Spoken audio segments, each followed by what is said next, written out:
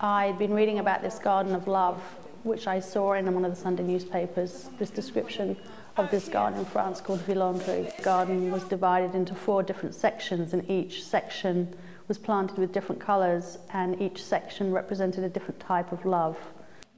Of course, it's incredibly decadent, which I really like, the kind of excessiveness and the sense of wonder of 10,000 red roses seems like such an excessive gesture.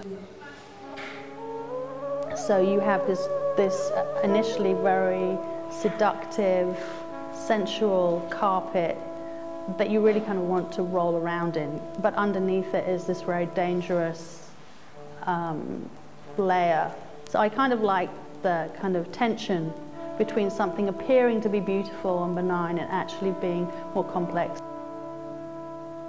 We've packed them really densely, but, not, but what, usually what happens is they dry out and they shrink. So the green comes through more, um, but then they become these perfectly dried rose heads. Um, and so often people want to make potpourri out of them, which makes me really pissed off. So to, to get away from that kind of sentimental connotation, I then collect the roses at the end and put them all in a big blender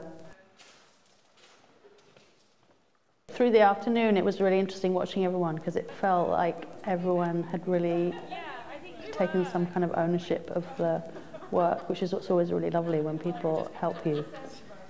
Is um, that they get involved in the work in a different way than when just someone just comes to look at it.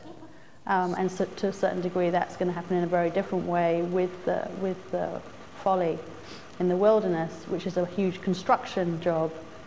It's a kind of interesting um, twinning going on there in a way, this being very feminine, all these women helping me. And then it's all blokes down um, in the mud, digging that huge hole and all this steel and um, studding. So the other piece, yeah, I'm making a contemporary kind of folly, a grotto um, made of amethyst and obsidian.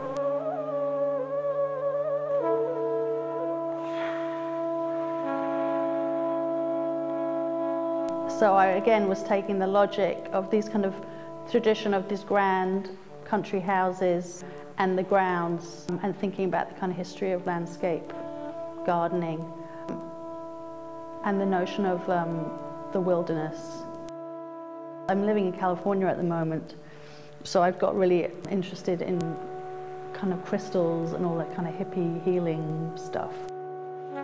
I like the idea of making a, a grotto or a folly but using amethyst, which is a kind of healing stone, and obsidian, which is this black volcanic glass.